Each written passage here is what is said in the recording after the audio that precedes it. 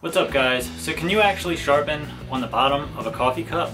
Well, we're gonna find out. So I get this comment a lot, and it usually goes something like this. Don't waste your money on stones, just use the bottom of a cup or a plate.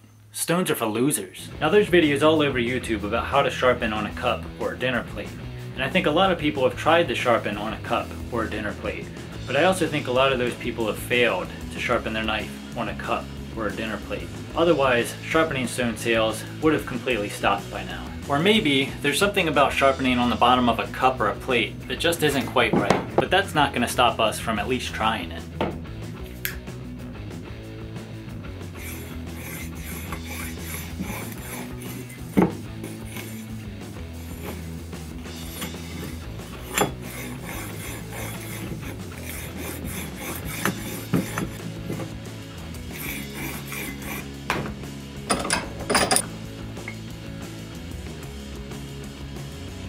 That's not gonna work.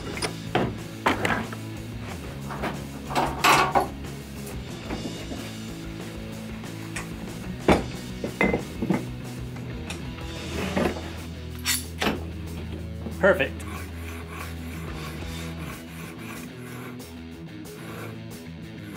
Well, it's definitely removing metal. Just from my initial impression, I would say that this is in the neighborhood of like 220 grit or 320. I'm not 100% sure, but it's definitely very coarse. Look at the sharpening surface we have here. This is probably only maybe two and a half inches of sharpening surface that we have from here to here. What is this, like 3 sixteenths of an inch wide? Our entire sharpening surface is 3 sixteenths of an inch wide by two and a half long. And it's curved. It's really hard to maintain an angle on this thing, I'll tell you that much.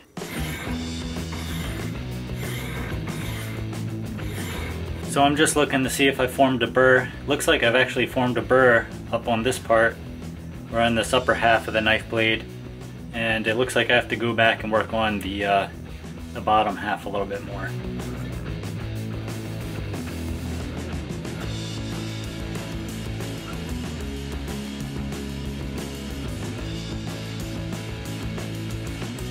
So it actually looks like we formed a burr here and I think we can go ahead and take it to the strop now. So what sharpening video will be complete without a strop? Well, to keep the same theme of this video, I think we're just going to use cardboard to strop on.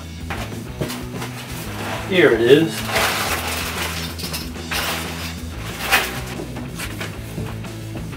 Cardboard. Let's get this out of the way.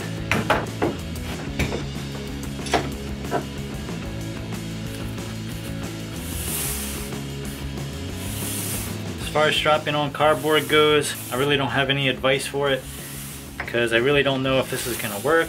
So I can still actually kind of see a burr that's on here. So we haven't really removed anything yet. I don't know how long this is gonna take. Might not even work at all.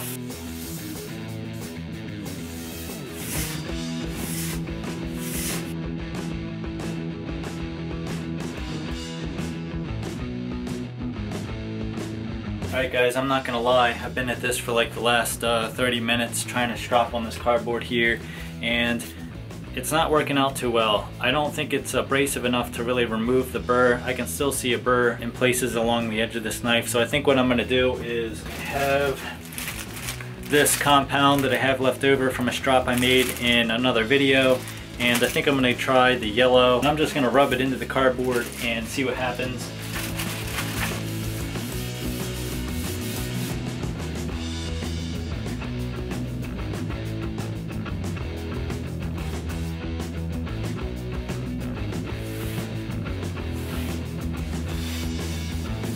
Check this out. I've literally been stropping for uh, less than a minute and look at all this black. This is actually metal that's been removed off the edge of this blade. We can actually shave, get it in camera here, actually shave hair with it pretty easily. So yeah, that's uh, did the job. Let's do the old paper test.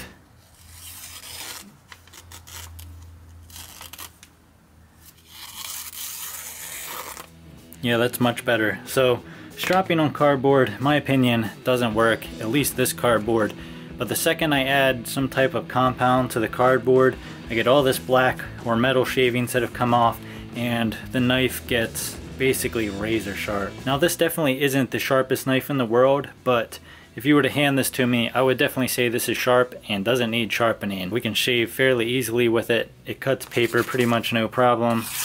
That pretty much sums it up. So yeah guys, sharpening on a cup actually kind of works.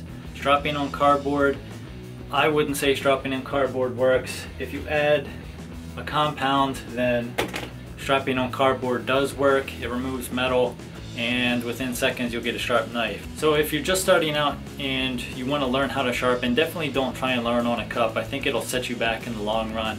Get yourself some decent stones and practice on them. So sharpening on a cup is possible if you add compound to your cardboard. Let me know what you think in the comments and thanks for watching.